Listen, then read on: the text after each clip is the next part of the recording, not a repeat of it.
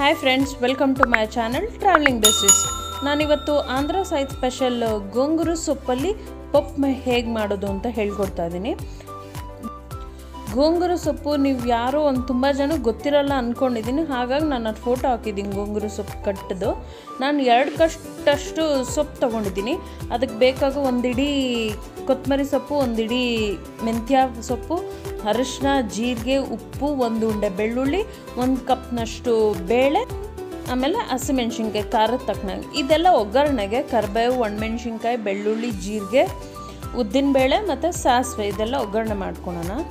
ಈಗ ನಾವು ಕುಕ್ಕರ್ಗೆ ಕೂಗ್ಸೋಕ್ಕಿಡೋಣ ಈಗ ನಾವು ಬೇಳೆ ಹಾಕೊತಾ ಇದ್ದೀವಿ ಒಂದು ನಾನೀಗ ಮಾಡ್ತಾ ಇರೋದು ಕ್ವಾಂಟಿಟಿ ಒಂದು ಸಿಕ್ಸ್ ಮೆಂಬರ್ಸ್ಗೆ ಆಗುತ್ತೆ.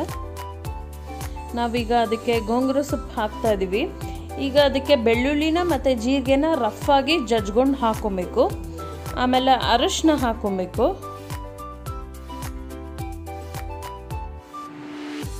ಆಮೇಲೆ ಖಾರಕ್ಕೆ ತಕ್ಕನಂಗೆ ನೋಡಿಕೊಂಡು ಹಸಿಮೆಣ್ಸಿನ್ಕಾಯಿ ಹಾಕೊಳ್ಳಿ. ಖಾರ ಬೇಕಾದರೆ ಜಾಸ್ತಿ ಹಾಕೊಬೋದು. ಆಮೇಲೆ ಮೆಂತ್ಯ ಸೊಪ್ಪು ಒಂದು ಇಡಿಯಷ್ಟು ತೊಗೊಂಡಿದ್ದೀವಿ ಆಮೇಲೆ ಒಂದು ಕತ್ ಒಂದು ಇಡಿಯಷ್ಟು ಕೊತ್ತಂಬರಿ ಸೊಪ್ಪು ಹಾಕ್ಕೊಬೇಕು ನಾನು ಎರಡು ಕಟ್ ಅಳತೆಗೆ ಹೇಳ್ತಾ ಇದ್ದೀನಿ ಇದನ್ನು. ಆಮೇಲೆ ಸ್ವಲ್ಪ ನೀರು ಹಾಕ್ಬಿಟ್ಟು ಕೂಗಕ್ಕಿಡಿ.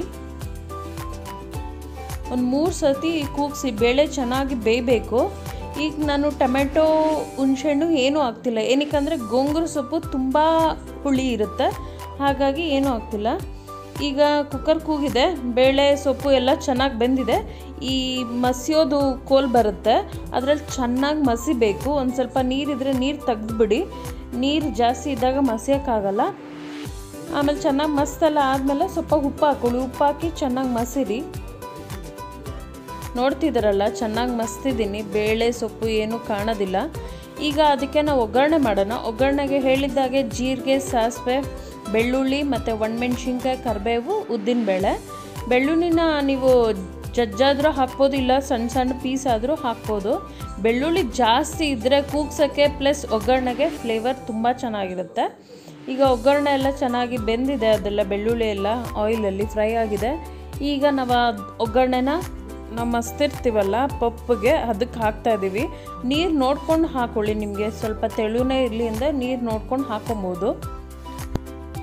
ಇವತ್ತಿನ ಟಿಪ್, ಅಕ್ಕಿ ತೊಳೆದಿರ್ತೀವಲ್ಲ ನೀರು, ಆ ನೀರನ್ನು ಡೈಲಿ ಮುಖ ತೊಳ್ಕೊಂಡು ಬಂದರೆ ಪಿಂಪಲ್ ಮತ್ತು ಮುಖದಲ್ಲಿ ವ್ರಿಂಕಲ್ ಕಮ್ಮಿ ಆಗುತ್ತೆ.